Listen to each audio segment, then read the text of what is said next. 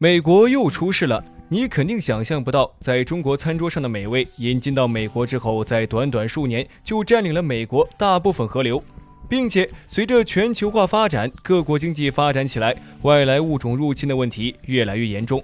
世界各国都遭遇过类似的问题，哪怕是人迹罕至的南极洲亦是如此。外来物种入侵已经成为一个急需解决的生态问题。这次鲤鱼入侵美国，这到底是怎么一回事呢？今天站长就带着大家来了解一下这背后的故事。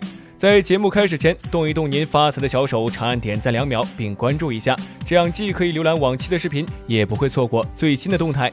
近年来，由于自然环境差异加上地理因素的原因，部分在我们眼中觉得普通的生物，到了另一个地方呀，就可能成为让人头痛的灾害。比如说亚洲鲤鱼，亚洲鲤鱼其实并不是指的鲤鱼，它是指原产地亚洲的鲤科鱼类。美国人对青鱼、草鱼、鳙鱼这些梨形鱼类都统称为亚洲鲤鱼。大部分物种入侵都是在人类不知情的情况下被引进的，但是亚洲鲤鱼呀不一样，它是被美国人特意引进的。哎，在上世纪六十年代，美国境内遭遇一个生态难题，各大湖泊中浮游生物肆意生长，严重影响当地的生态平衡。为了解决这个问题，美国人特意从亚洲引进鲤鱼。最开始的时候，这些鱼类被圈养在特定设施中，用来处理水生植物泛滥的问题，结果也是非常的不错。然而，在遭遇洪水期间，这些鲤鱼纷纷离开原本的特定区域，来到各大湖泊中繁衍生殖。自那以后，鲤鱼就成为美国人的噩梦。亚洲鲤鱼的食量惊人，在美国往往能够长到几十斤重，体型超过两米，更是毫不稀奇。一个普通成年人抱起一只亚洲鲤鱼都费劲儿。在国内，我们所看见的鲤鱼啊，往往都很难超过十斤重，大多都是只有一斤或几斤重。像美国这种几十斤重的鲤鱼，在中国的市场啊是很难见到的。哎，这就非常奇怪了。亚洲鲤鱼离开中国还能成精不成？嘿，其实啊，这是跟生长环境有所关系。鲤鱼的寿命其实是非常长，如果没有中途被人类捕捞的话，活个几十年时间问题不大。最重要的是，鲤鱼属于杂食动物，每天最高可以消耗自身百分之四十体重的食物。成熟以后，体重往往能够长到二十斤到一百斤不等。在二零零五年的时候，亚洲鲤鱼就占据美国河流鱼类百分之七十五的数量。由于亚洲鲤鱼这种物种是被人为引进的，因此它们在美国河流领域根本不存在天敌，这就导致亚洲鲤鱼在美国快速繁衍，以至于泛滥成灾。亚洲鲤鱼的存在对美国的生态平衡造成极其严重的威胁。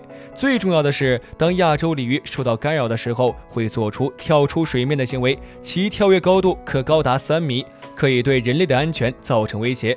发生过亚洲鲤鱼致人受伤的案例，在二零零九年开始就开始大规模的捕杀亚洲鲤鱼，请了非常多的专业人士，但效果不佳。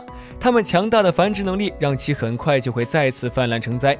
为了阻止亚洲鲤鱼泛滥五大湖，美国甚至还拉起了电网。但是有些鲤鱼会跳过电网，有些鱼苗会钻过洞眼，因此亚洲鲤鱼依旧在美国泛滥成灾。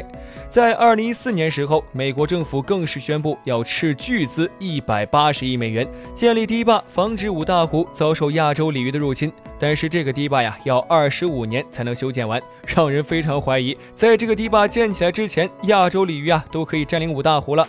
可能有人觉得鲤鱼泛滥是一件好事儿，这样啊就源源不断的美味鲜鱼可以品尝。其实不是的，亚洲鲤鱼在美国根本就没有市场，美国人对于吃鲤鱼这件事情根本就不感兴趣。美国人的饮食习惯让他们认为这种淡水鱼腥味较重，而且鱼刺比较多，吃起来比较麻烦。正是因为如此，所以美国人才没有选择去吃亚洲鲤鱼，这就让他们得到了充足的发育时间。美国人想了非常多对付亚洲鲤鱼的办法，但是都没有很大的效果。最后，美国亚洲鲤专家和他的同伴们组团到中国来寻找解决亚洲鲤鱼在美国泛滥的方法。他们看中了中国一种捕鱼方式，那就是冬捕。在中国北方地区，都会在冬天进行集体的捕鱼活动。于是，美国的专家回国，根据中国的捕鱼活动，结合了美国的情况，发动了多起有奖励的捕鱼方式，进而让亚洲鲤鱼泛滥的趋势呀有所减缓。这也让他们非常惊喜。美国人引进亚洲鲤鱼，是因为有另外一个物种破坏了它们的生态平衡，那就是水生植物。这样一来，亚洲鲤鱼就拥有充足的食物来而美国人不吃亚洲鲤鱼，这就给他们提供了一个安全的生活环境。最后能够长到这么大呀，也是情有可原的事情。但是在中国不一样，中国的鲤鱼基本上都是人工养殖的。为了能够上餐桌，这些鲤鱼往往饲养时间不会很长，鲤鱼没有足够的时间进行成长，因此我们看见的鲤鱼体型往往都是很小的，超过十斤重的鲤鱼都是非常罕见的。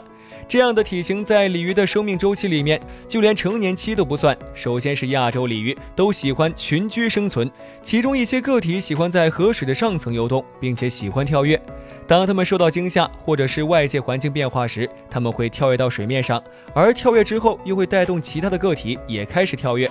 这种现象在我国也非常常见，人们经常能够在傍晚时分看到它们在水面上跳跃。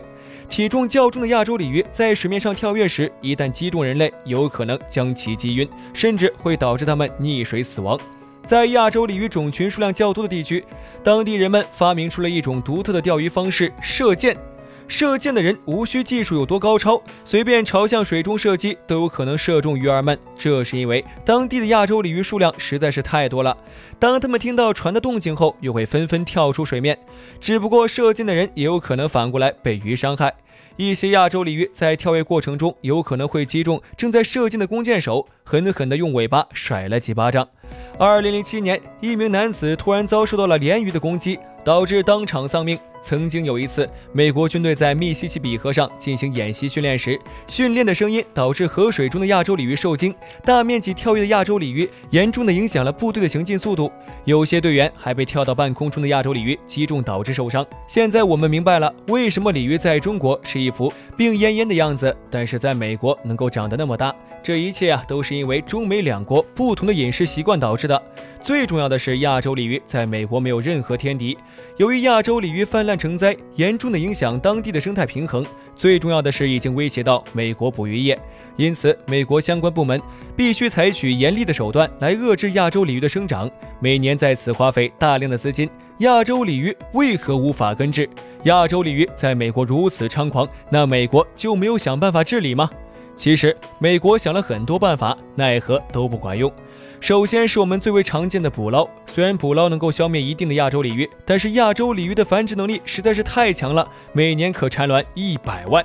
而野外的亚洲鲤鱼寿命高达二十年，这就导致只要有一条漏网之鱼，就会让亚洲鲤鱼重新崛起，并且捕捞成本也比较大。而亚洲鲤鱼的经济价值又非常低，因为较多的鱼刺以及较重的土腥味，让他们当地人不是很喜爱，所以很少在当地人的餐桌上见到它们，只能将它们加工成宠物饲料等等。而这又使得它们的经济价值较低，捕捞非常不划算，所以只有国家补贴才能推动当地渔民捕捞亚洲鲤鱼。其次是电鱼和捕捞相比，电鱼能够在较短时间里杀死更多的亚洲鲤鱼。在国外，一艘渔船使用电网捕鱼，刚刚在水里通电后，水里的鱼儿们就集体蹦起来了，拍打着船上的人。只不过电鱼和下毒一样，都会无差别的杀死附近的鱼类，导致一些本地鱼类也受到波及。所以这种方法很少使用，人们只能采用捕捞以及阻拦的方法，防止亚洲鲤鱼蔓延到五大湖中。为此，美国先后已经投入了一百八十多亿美元，但依依旧没能够将它们赶尽杀绝。美国也想过将泛滥成灾的亚洲鲤鱼卖给我国，这样既可以赚钱，又能控制亚洲鲤鱼的泛滥。